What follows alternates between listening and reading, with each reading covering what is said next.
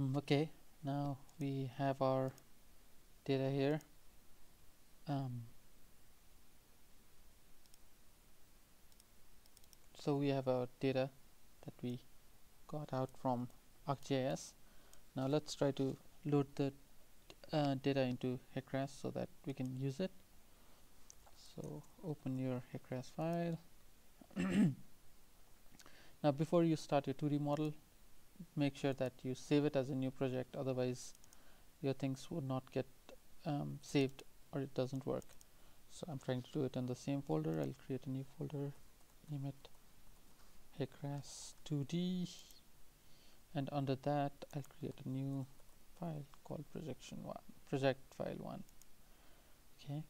Uh, it says that start um, a file as this with US customer units uh, since we have everything in feet I think this should be fine. So press OK. Now the first thing we want to do is go into the RAS mapper. So this is the small button here. Um, now you want to load the terrain because that's where you start from. Um, you right click on terrain create a new terrain. It's it recommends that you give it a spatial reference system. So yes we'd like to give it a spatial reference system.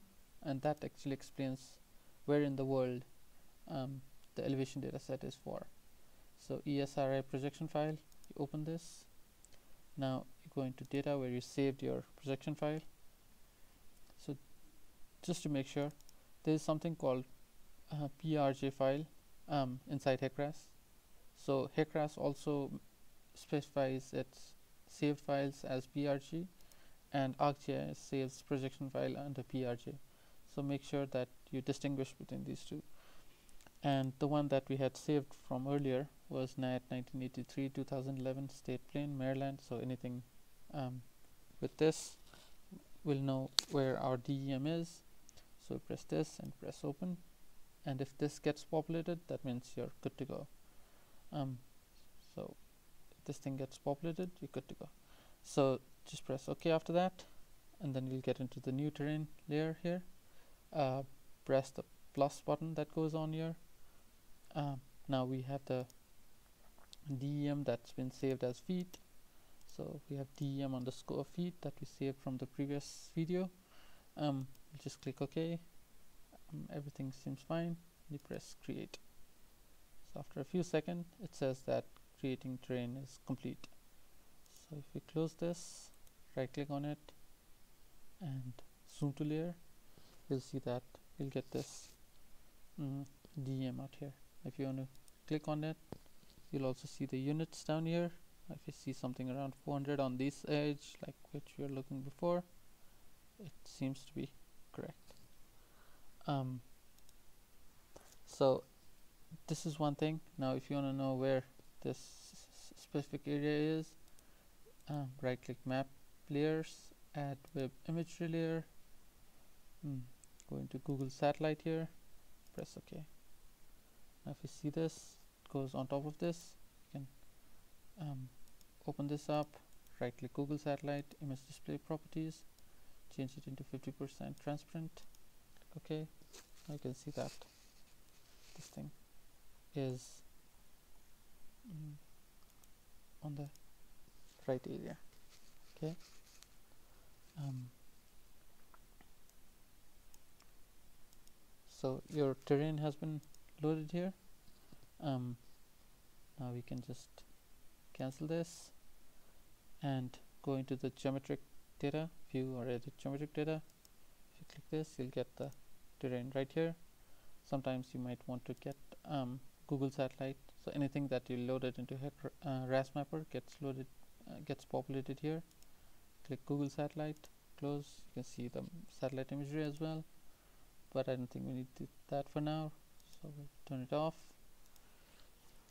Now from this you can actually provide a 2d flow area. Um, so there's a small button here called 2d flow area.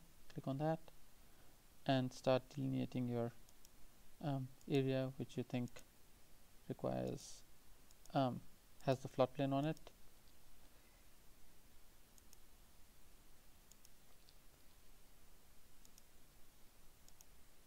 so I think it would probably be okay with this much for now. Double click on it ask what do you name it?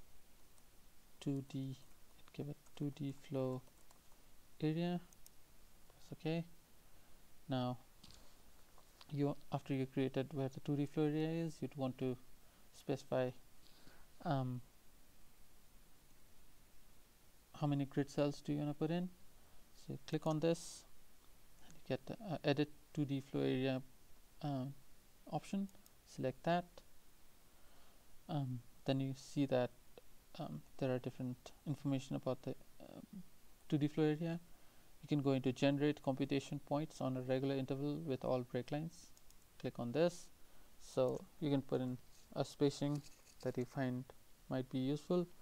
Right now I'm going to put 25 feet by 25 feet and I press generate points in 2d flow area so you can try it out with different um, space uh, grid size spacing.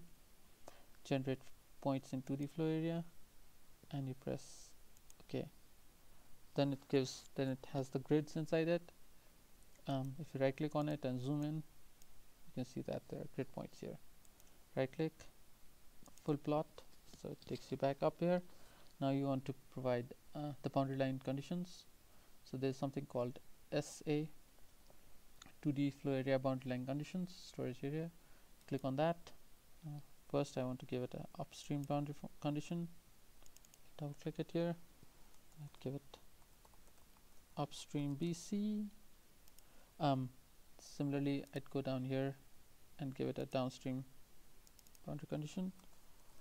So downstream BC press OK so you can see that this is upstream this is downstream and the flow area is done.